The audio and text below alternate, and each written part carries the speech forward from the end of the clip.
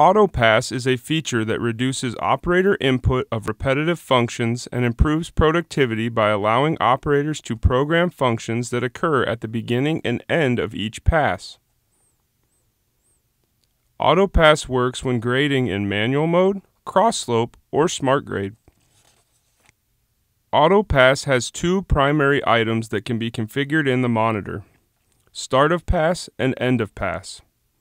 Under Start of Pass, there are two configurable items Return to Grade and Grade Control. The Return to Grade adjustment allows the operator to adjust their starting position of the blade at the start of the pass. This can be adjusted for the right and left side of the blade.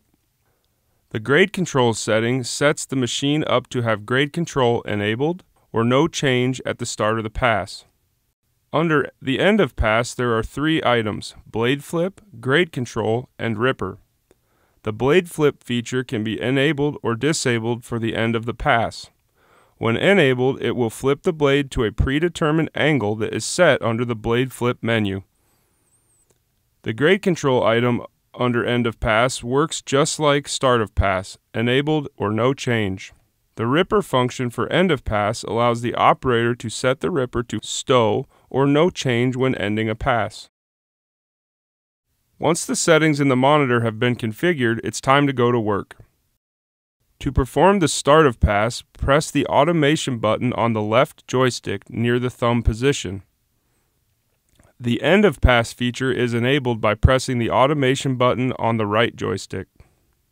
By pressing and holding the end of pass button on the joystick controls, the end of pass function will slow down, allowing the operator to spread or feather material at the end of the pass. Machines that have fingertip controls will utilize the blade lever float function for start of pass. This control pattern does not have end of pass capabilities. At the start of pass, auto pass will lower the blade to a predetermined elevation. When paired with SmartGrade, the start of pass function will lower the blade to an elevation that will enable the automatics and let grade control take over. At the end of pass, it will raise the blade. If the machine has it enabled, it will also rotate the blade to a predetermined angle and be ready for the next pass. AutoPass can also work with the Ripper function at the end of the pass. When enabled, pressing the automation button for the end of pass will stow the Ripper. This is only available on joystick controls.